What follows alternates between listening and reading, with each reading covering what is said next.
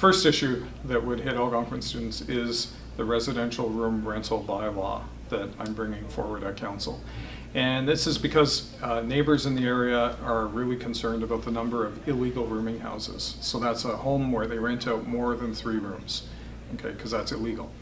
And uh, so I went to a number of areas across Ontario and found out the best way to resolve this issue. And the issue is best resolved by enforcement. So we're bringing forward a number of options that let us enforce that bylaw better. That's good news for students because they will know instantly that where they're moving into, you know, a room in a house in the area is safe. They'll know that it's been inspected.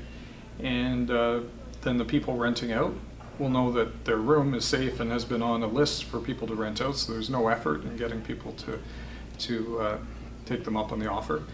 And uh, the community knows that illegal rooming houses will be shut down. So I think it's good for everyone. And the second issue is crumbling roads and infrastructure.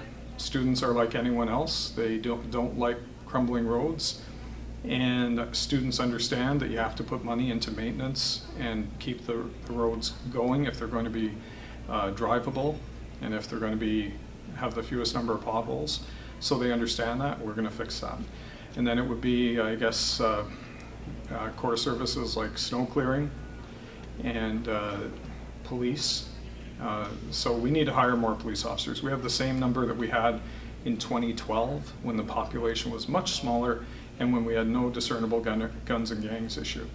Uh, so reality is we need more police and if we do that it's going to handle the speeding issue uh, in a way that people haven't really thought about.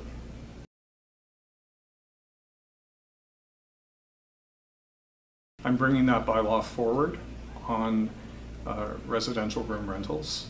And that's going to clear up everything, make it very certain for students as to what they're facing. And initially, by the way, two years ago when I first proposed it, we had students saying, well, oh no, this may cut down on the supply of rooms available for us to rent. But they quickly came around to realizing that some of the rooms they're renting, they shouldn't be renting. So if you're in a basement with no exit, uh, that's a dangerous position to be in. So we're going to clear that up. That's a good thing.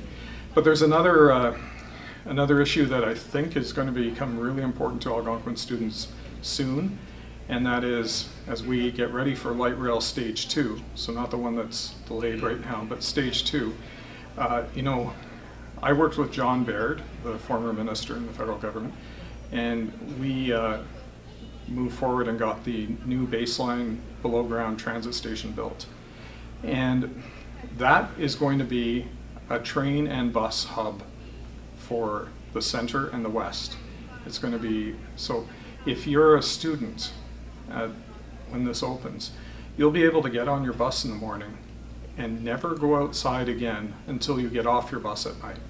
And that's going to be something that I think a lot of students are really going to appreciate. They'll get in the bus, they'll end up underground at the bus train station, uh, then they'll take the pedestrian bridge over Woodroffe and go to class and reverse it on the way home.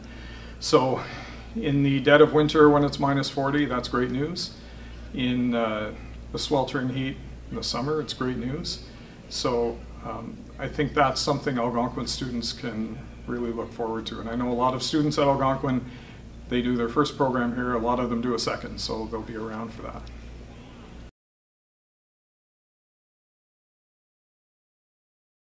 They absolutely are not. Okay. The good news is we're going to a lot of doors and a lot of students live in the immediate area. And uh, so last night alone I had five different students answer doors saying, there's an election? and uh, you're the incumbent, aren't you? Yes, and uh, I would have to answer some really basic questions, um, like can they vote? So I have to convince them that yes, they're allowed to vote.